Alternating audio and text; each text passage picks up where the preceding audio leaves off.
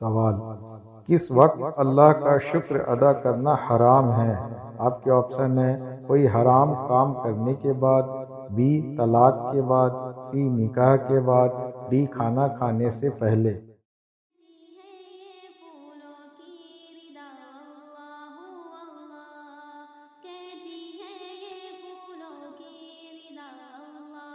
सही जवाब है ए कोई हराम काम करने के बाद।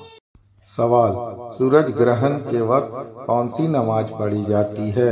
आपके ऑप्शन है ए, नमाज़ कसूफ, बी, नमाज़ इस्तखारा, सी, नमाज़ कसर, डी, नमाज़ खसूफ।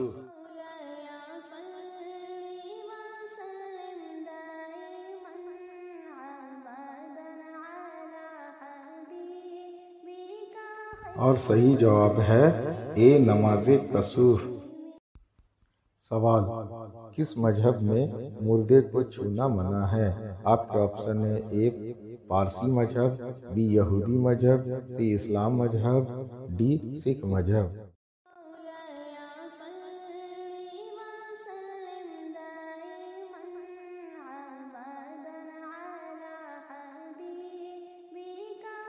सही जवाब है ए पारसी मज़हब। सवाल, किस वक्त इंसान रुई की तरह उड़ते फिरेंगे। आपके ऑप्शन है ए, मैदान महसर, बी, कयामत के दिन, सी, कबर में, डी, मालूम नहीं।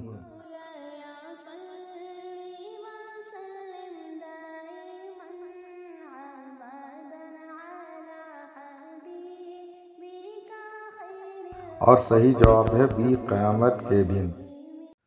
सवाल, मदीना का पुराना नाम क्या है? आपके ऑप्शन है ए, मक्का, बी, यसरिब, सी, शाम, डी, रियाद।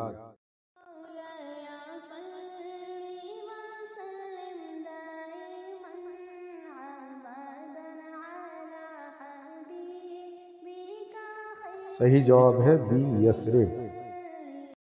सवाल वाक़ मिराज शरीफ के वक्त हुजूर पाक सल्लल्लाहु अलैहि वसल्लम की उम्र कितनी थी? आपके ऑप्शन है ए, बावन साल, बी, बयालीस साल, सी, पचास साल, डी, पचपन साल।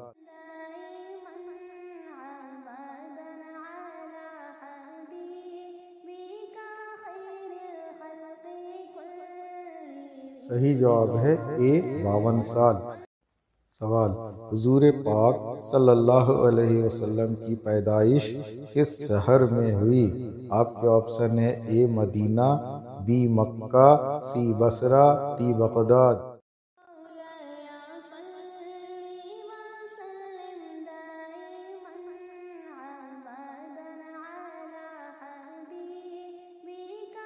सही जवाब है बी, मक्का। सवाल, सबसे ज़्यादा हदीस किस सहाबी से मरवी है? आपके ऑप्शन हैं, ए, हज़रत उस्मान, बी, हज़रत उमर, सी, हज़रत अबू हुरैरा, डी, हज़रत बिलाल हफ्सी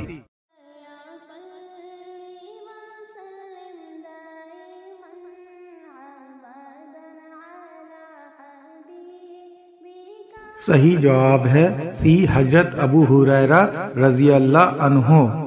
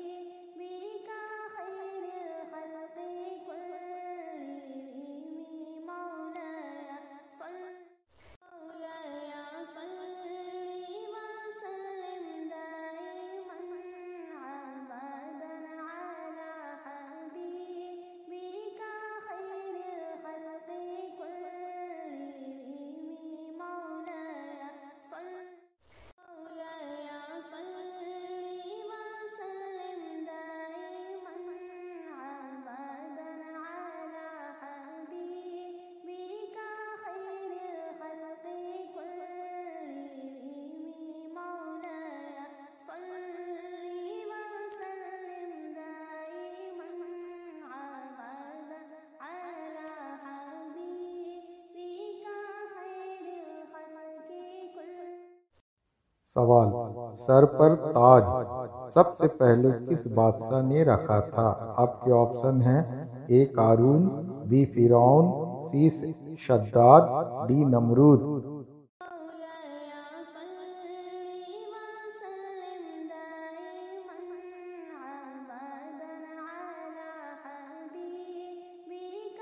सही जवाब है ए कारून।